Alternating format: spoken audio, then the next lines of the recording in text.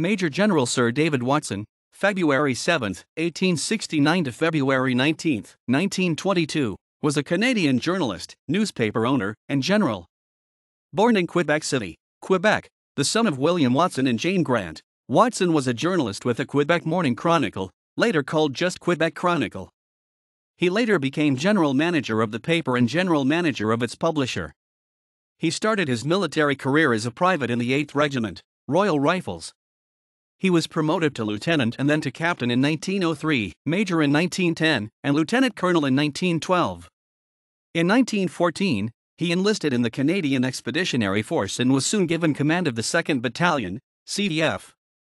He was promoted to brigadier general in 1915 and took command of the 5th Brigade, 2nd Canadian Division.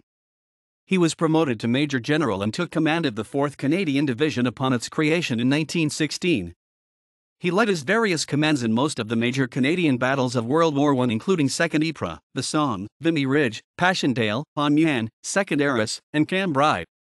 In late 1917, he and Victor Odlum saved their commanding officer, Arthur Currie, from a career ending charge of embezzlement by lending Currie enough money so that he could repay a large sum he had borrowed from regimental funds before the war. After the war, he resumed his job at the Quebec Chronicle and became the majority owner.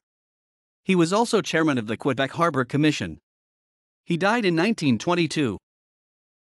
Croix de Guerre, France. Croix de Guerre, Belgium.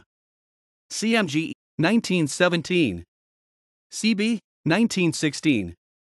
KCB, 1918. David Watson. Dictionary of Canadian Biography, online ed. University of Toronto Press. 1979 to 2016. Equals equals references equals equals.